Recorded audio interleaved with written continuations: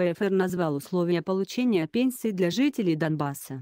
ПФР назвал условия получения пенсии для жителей Донбасса час 54 РИА Новости. Евгений Епанчинцев. Вывеска на здании отделения Пенсионного фонда Российской Федерации. РИА Новости. Евгений Епанчинцев. Москва. 26 апреля Новости.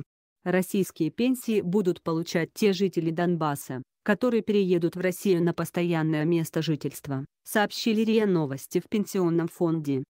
В отношениях между Россией и Украиной действует основанное на территориальном принципе соглашение от 13 марта 1992 года о пенсионном обеспечении. Вчера, 23.55. Небензя, указ о российских паспортах жителям Донбасса не является сигналом, Согласно этому международному акту, выплаты пенсионеру назначаются и производятся государством, где постоянно он проживает, вне зависимости от гражданства. В этой связи российские пенсии гражданам, постоянно проживающим на Украине, в том числе в Донецкой и Луганской областях, не назначаются, пояснили в фонде. Начислять пенсии жителям Донбасса, которые переедут в Россию, будут в общем порядке, руководствуясь действующим законодательством.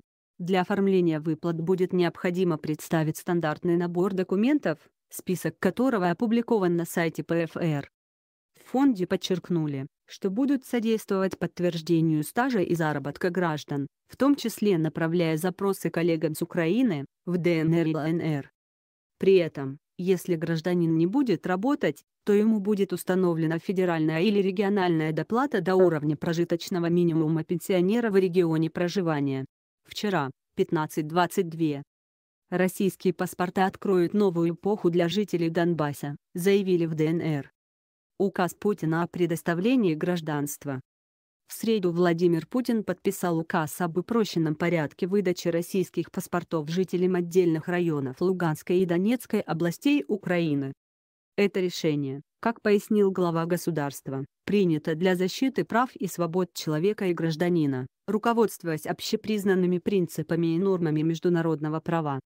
Срок рассмотрения заявления на получение гражданства по упрощенной схеме не должен превышать трех месяцев. В России сейчас находится более миллиона выходцев из этого региона. У них различные документы, патенты на работу, виды на жительство, разрешение на временное проживание.